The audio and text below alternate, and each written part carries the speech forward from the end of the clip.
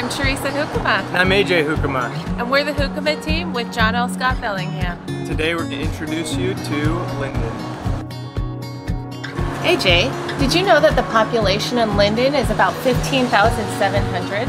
And that our median household income is around $66,000 per house? And when you move to Lynden, if you have a great realtor, they will register you for a welcome basket that is handed out by the Lynden Chamber of Commerce. It's a very welcoming thing.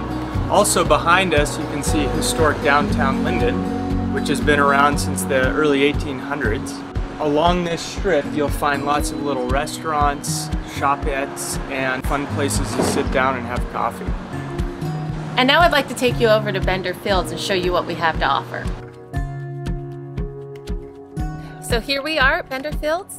It's 56 acres of open fields, soccer, baseball, softball. You've got your playground, you've got basketball, you've got pickleball. We have a new pump track going on for the kids. We've got climbing boulders and we've also got a life-size chess set.